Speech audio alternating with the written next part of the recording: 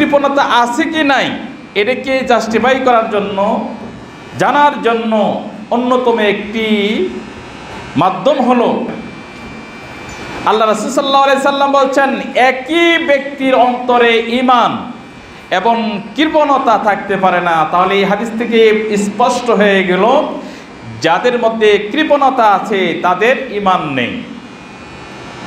আলো এবং অন্ধকার যেরকমভাবে একই জায়গায় থাকতে পারে না, তদ্রূপ ইমান এবং কৃপণতা একই সঙ্গে একই ব্যক্তির হৃদয়ে থাকতে পারে না।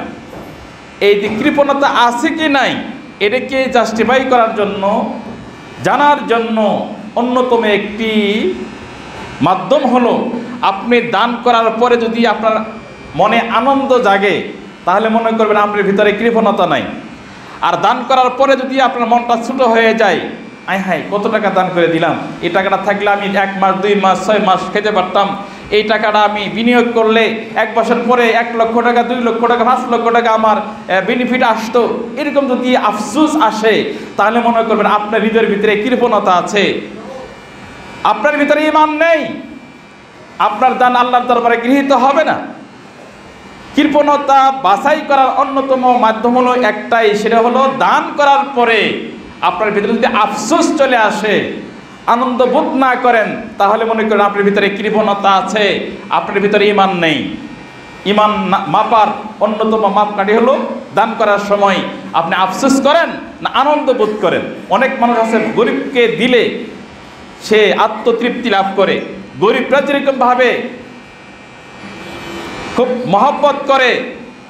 একটা দান পাইলে, একটা অনুগ্রহ পাইলে কোনো ধনী ব্যক্তিদের পক্ষ থেকে তারা যেরকমভাবে আনন্দিত হয়, সেরকমভাবে যে ব্যক্তি দান করল, সে ব্যক্তিও আনন্দিত হয়। ও পেয়ে আনন্দ বোধ করল, আর আপনি দান করে আনন্দ বোধ করলেন, উভয়ে আনন্দ ভোগ করলেন, তাহলে মনে করবেন যে উভয়ের ভিতরে ইমান আছে। আপনার ভিতরেও আছে, আপনি দান করছেন, আর যে পাইলো, সে পায়ে খুশি হলো।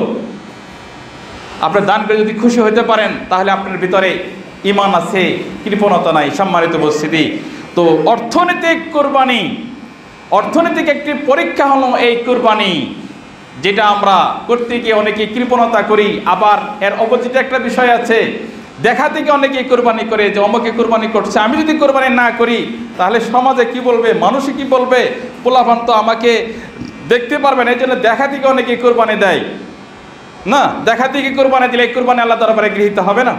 কোরবানি দিতে হবে আল্লাহকে খুশি করার জন্য একমাত্র আল্লাহকে খুশি করার জন্য কোরবানি দিতে হবে সম্মানিত উপস্থিতি মহাগ্রন্থ আল কোরআনে কারিমে আমি সরা হজ্জের চৌত্রিশ নম্বর আয়াতে কারিমা তালাবাদ করেছি সাঁত্রিশ নম্বর আয়াতে কারিমা তালাবাদ করেছি আল্লাহ সেখানে কি বলছেন আল্লাহ বলছেন لن ينال الله لحومها ولا دماؤها ولكن يناله التقوى منكم আল্লাহ বলছেন তোমাদের পশুর রক্ত, মাংস আমি রাব্বুল আলামিনের নিকটে পৌঁছে না। কেবলমাত্র তোমাদের তাকুয়াটুকুই আমার কাছে পৌঁছে।